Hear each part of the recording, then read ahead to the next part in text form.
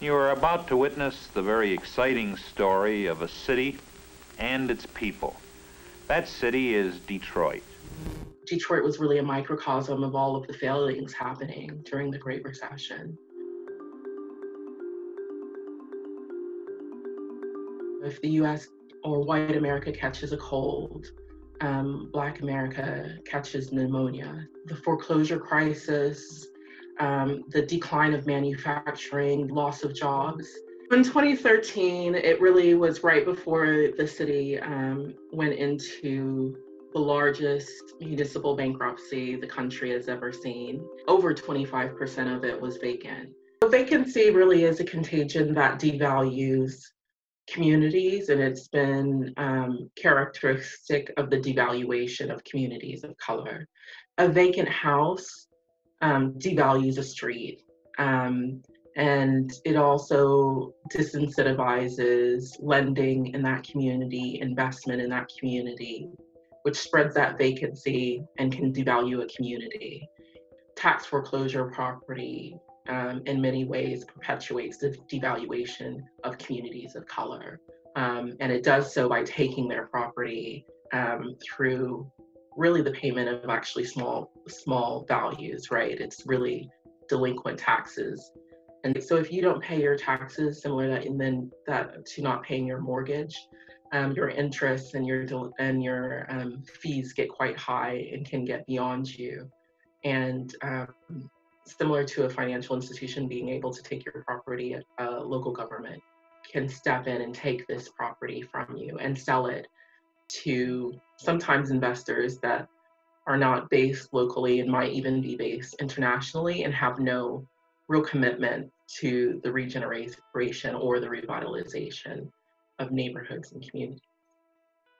In the US, we have something that's quite unique known as a land bank. It's a quasi governmental entity that holds vacant and abandoned property and uh, creates both strategy and um, assembly of these properties to reactivate them in, in uh, the most productive way for communities' use. And that's where I was based. I was based in the Detroit Land Bank. So at the time, the land bank um, owned a significant amount of uh, vacant and abandoned property that had come to the possession of the city largely through tax foreclosure. So one of the things we did in Detroit was really just selling vacant lands to neighbors.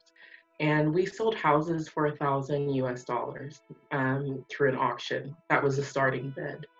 Um, with the expectation and the requirement that within a certain time frame, the individual had to either demolish the property and activate it, activate the land, or they had to renovate it and have it occupied. Land and property had to be purchased by individuals rather than um, companies. And um, part of that was to rebuild community.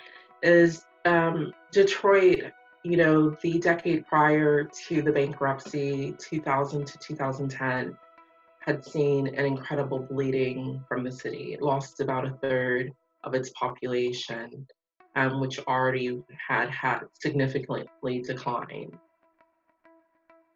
Decline has really minimized to less than 1%. That's a pattern that is completely new and different. In 2014, there were only 12 new home mortgages in the city. The incredible thing is that within a very short time frame, you've seen that um, the annual numbers of mortgages over a thousand. Housing is actually um, civil rights work.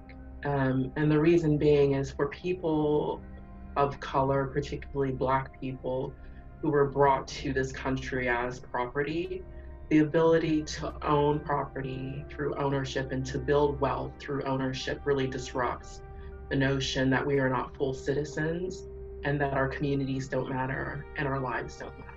So in the US, white households have 10 times more wealth than black households.